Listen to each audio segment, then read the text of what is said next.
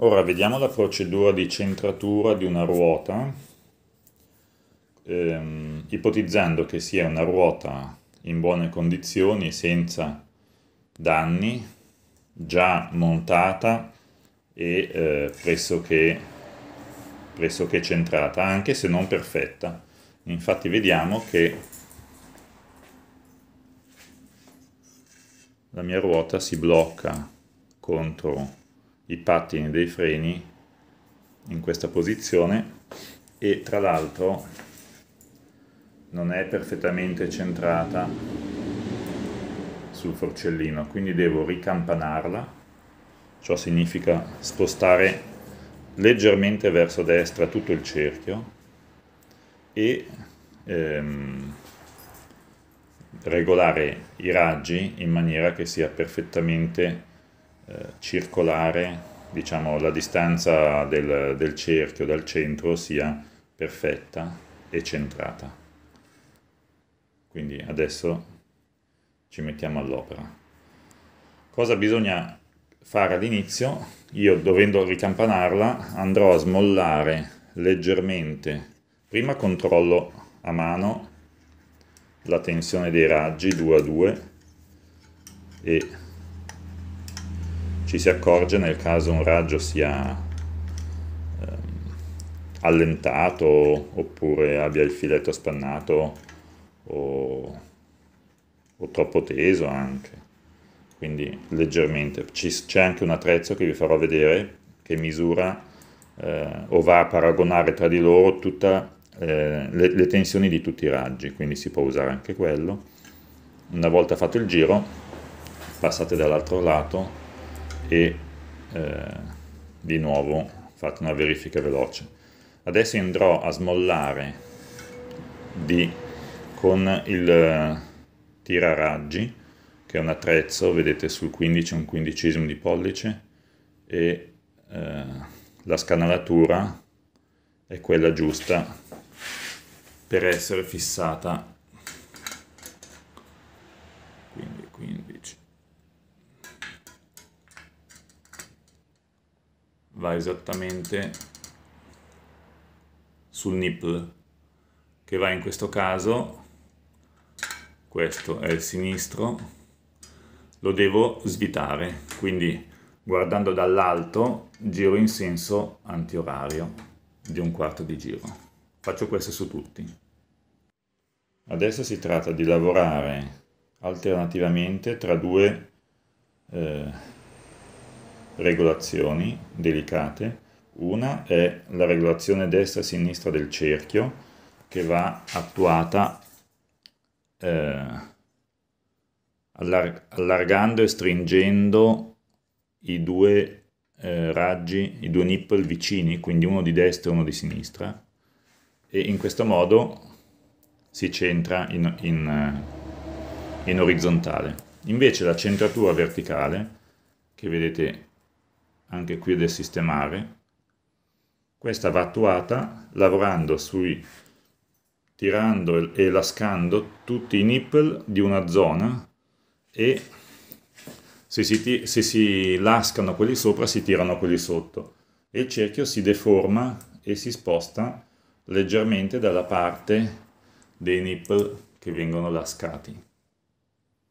Quindi adesso regolo leggermente il, il movimento su e giù per regolare con precisione il, la deformazione del cerchio.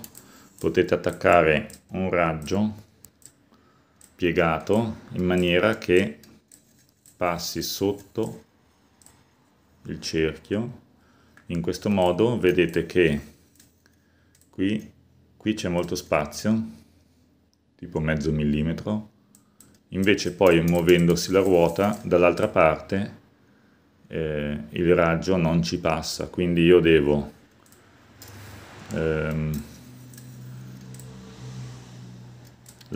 tirare i raggi in questa zona e lascare i raggi diametralmente opposti che sono questi.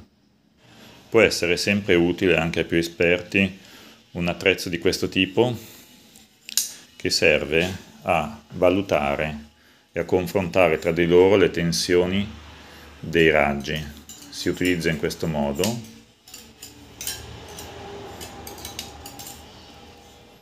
posizionando il raggio attraverso i tre, eh, le tre, tre bulloni e andando, lasciandolo libero di, di muoversi, no? c'è una molla, quindi lasciando libero di muoversi, lui va a posizionarsi su una certa tensione, qui vedete tra i 25 e i 30, adesso vi spiego che unità di misura è, e questi sono i raggi destri dalla parte della ruota, della, de, della ruota libera, invece questi sono i sinistri, questo è un po' lasco ad esempio. Adesso devo ricontrollarli evidentemente e, ehm, comunque il lato sinistro è sempre un 15-20% più lasco di, del lato destro proprio perché deve esserci una campanatura. Quindi la campanatura viene fatta proprio dai raggi che sul lato destro tirano di più sul lato sinistro tirano di meno e mm, la ruota sta più, se lo guardate così, i, i raggi destri sono molto più verticali dei sinistri e la ruota, il cerchione viene tirato verso destra per lasciare spazio, eh, diciamo, c'è molto più spazio a destra dove c'è la ruota libera piuttosto che a sinistra che è occupato dai raggi. Adesso vedete questa tabella dove si può leggere la tensione dei raggi in base al diametro e misurata in chilogrammi forza, quindi 10 newton, newton non newton metro. Ok. E, ehm,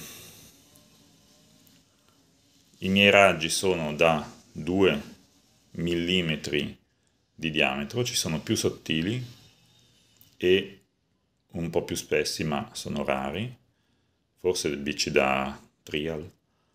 Quindi da 2 andiamo a vedere la seconda colonna.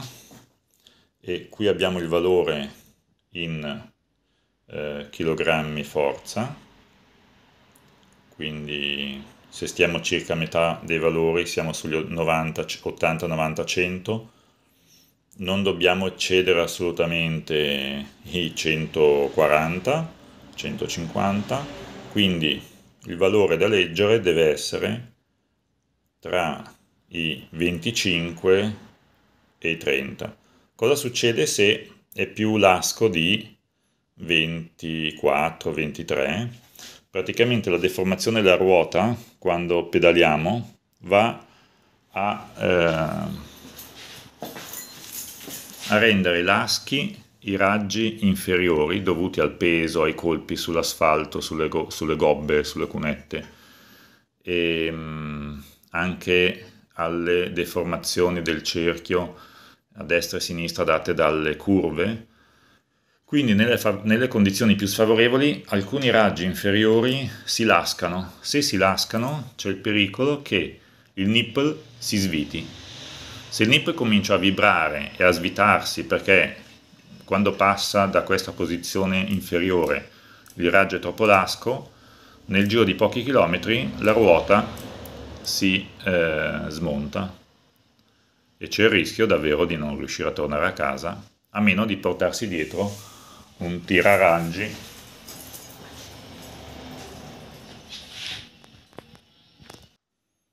come questo adesso è un po' diverso da quello di prima questo è un po' più preciso è di marca. E mm, quindi può essere un accessorio utile. Perfetto. Anche la ruota anteriore è perfettamente centrata. Vedete lateralmente e frontalmente. Sì insomma non è proprio perfetta però va bene ho predisposto il manubrio che sta diventando di più un cruscotto con anche un supporto per lo smartphone che può fungere da navigatore nei viaggi in bicicletta. Ho messo la luce, ho dovuto tirare un po' su i comandi e mm, per il momento funziona, chissà che magari un giorno li inverto in maniera da lasciare più spazio al telefono, ma il telefono si appoggia su tutto il piano qui, è molto stabile e la bici è completa. Adesso non resta che fare un giro e provarla. Risponde benissimo, è agilissima e i cambi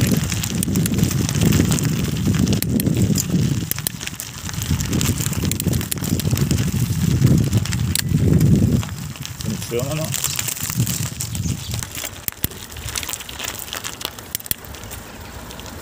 comunque ottimo.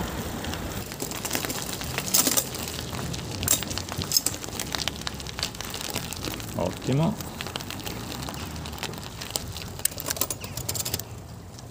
Wow. Benissimo.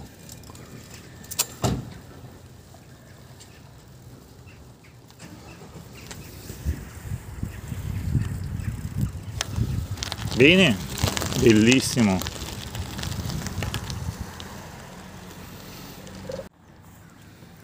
Fantastico. Possiamo salutare la nostra Temporin, una bicicletta eh, diciamo personalizzata, unica nel suo genere, con un telaio forse anni 90, con eh, tubi Columbus forcell- forcelle, forcellini cromati, un cambio SRAM posteriore 10 velocità, un pignone da 36 denti, bellissimi freni campagnolo e la particolarità ovviamente di questo manubrio con i cambi manubrio a corna di bue, bullhorn, con i cambi dei manettini da mountain bike inseriti nella zona centrale che lasciano spazio alle mani. Gli artigiani che hanno costruito questa bicicletta eh, sembra che siano della Bemex. Spero che questo tutorial possa essere stato di aiuto a molti di voi o di ispirazione e vi saluto e arrivederci al prossimo video.